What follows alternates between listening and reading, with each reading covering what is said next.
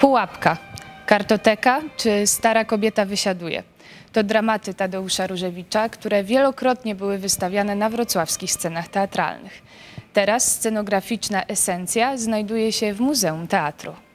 Spróbowałam raz drugi mm, tego eksperymentu, jak pokazać pracę scenografa, co jest właściwie niemożliwe.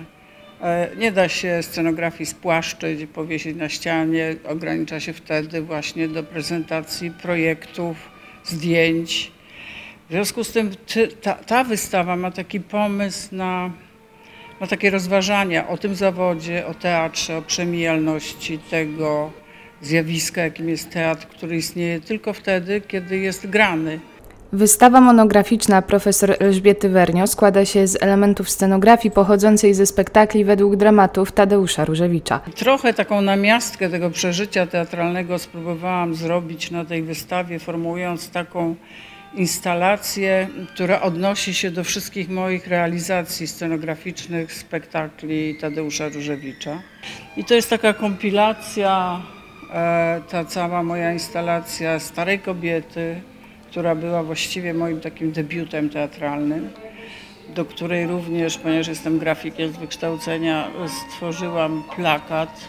Lewituję nad y, takim y, odtworzeniem czy próbą wyobrażenia sobie scenografii, która powstała do Pułapki Tadeusza Różewicza, przejmującego dramatu y, o o innym poecie i pisarzu, o kawce. Myśmy od dłuższego czasu e, bardzo chcieli zrobić e, wystawę pani profesor Elżbiety Wernio, no bo to jest y, naszym odczuciu najważniejsza artystka, która e, zajmuje się scenografią teatralną, do tego wrocławianka, więc tutaj jak wiadomo dla Muzeum Miejskiego Wrocławia e, absolutnie dodatkowy plus.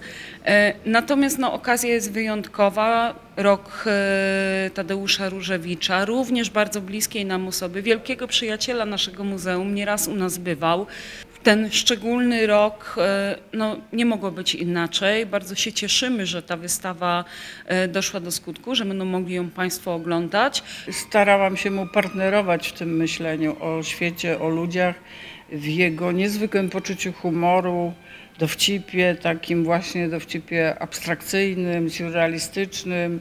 E, kiedyś zrobiłam taką wystawę, na którą przyszedł. Był to niezwykle życzliwy człowiek i niezwykle taki właśnie tolerancyjny dla, ludzk- dla człowieka, dla twórcy.